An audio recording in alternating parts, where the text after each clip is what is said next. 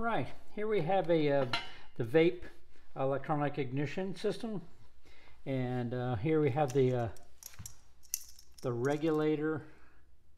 Uh, I guess I assume it's a solid state regulator, and we have the ignition control unit. There you go, and then we have the stator uh, and the sensor. This has three plates. There's a mounting plate can see that or not. There's a mounting plate and a plate that holds the stator and then the, the stator bolts to top of that. And then we have the coil or what they call the power dynamo. And then we have the, the rotor. And here's the ignition uh, spark plug wire for the, uh, the coil and got the uh, instruction manual here and it's it's very good but uh, uh, the product's made in um, the Czech Republic and the translation from English from their language to English is a little sketchy but hopefully I can uh, work my way through it and figure it out all right here we go All right, so here's the, uh, the ignition system, what I've got installed so far. And what it consists of is there are three aluminum rings that hold the system together. The first ring attaches to the cases, that holds it all together. Then the second ring holds the sensor in.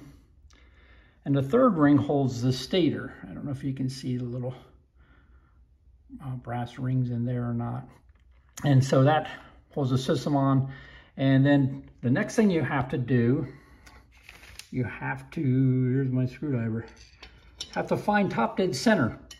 So you move it around, uh, you move the, the engine till you find top dead center, and I did that by using a screwdriver and marking the fins on the valve cover. You can see the little red marks there.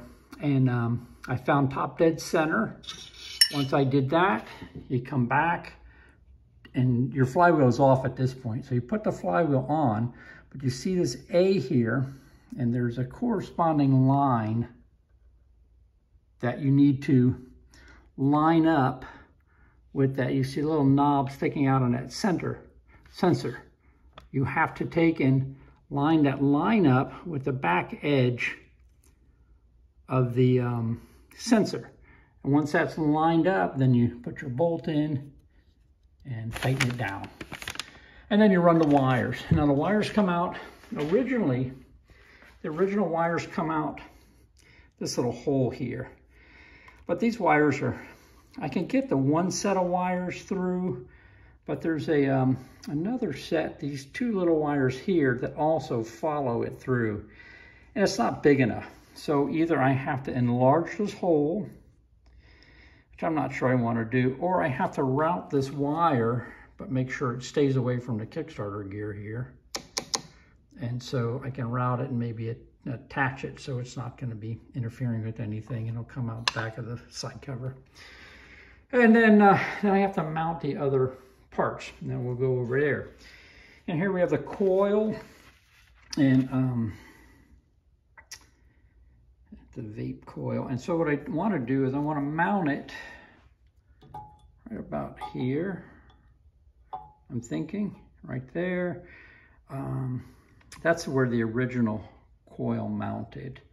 Um, then we could go over to the control unit. Here's the control unit. And then um, that I think I want to place about here. I'm going to change hands with the phone here, which is right in between the seat and the gas tank. And because the wires are kind of short, uh, they have to reach to the coil. Um, either I have to find a new location for the coil or mount the control unit around here. All right, and that brings us to the uh, regulator. And then the regulator I think I'm going to end up doing is um, making a bracket and then mounting it around here, this area here.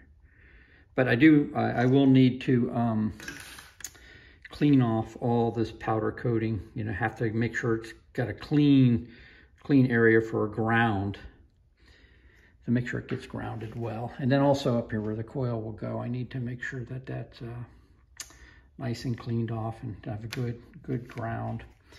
All right, so the other thing um, I did is I, I bought some shocks from eBay and um, they're, they're, my original ones are really rough shape. I thought about trying to restore them, but from what I've learned from other people, they say, yeah, just replace them. Uh, and so I found these on eBay. Um, they have a, the ones I ordered had a chrome spring. So it's black with chrome, kind of like the original. But they don't have those, so I ended up just staying with the black and black. And then the other thing I did was um, I put the chain guard on, and then I put a, this is all temporary, but I use the Allen bolt here, and then the traditional regular hex head here I'm just not sure which route I want to go with yet. If anyone has any comments, let me know. Um, you know, the bike is going to be kind of like a retro mod. I want a little better suspension and a better ignition system, but something you could ride. You know, you could ride to bike shows or car shows and something that's reliable and, and uh, you know, a better ignition system and something you can get on and start up and not have to worry about uh, having a weak ignition system. So uh, that's the project right now, and um, I will be back. All right. Uh, the other thing I got accomplished is I was able to pick up the uh, fuel tank and fenders from the body shop. They did a beautiful job on that. I'll see if I can get some good photo. Anyway, they did a nice job recreating the original paint scheme. And the fenders turned out real nice too. And so um, I do have the decals. Um, I got them from Moto Italia, Italia, Moto Italia. Uh, I got the uh, the SS sticker for the tank and the top, and then the two uh, Harley Davidson stickers for the sides. So anyway, I just want to show those.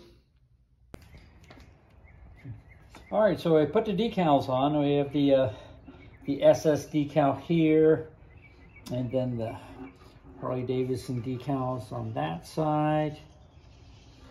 Then here's the other side.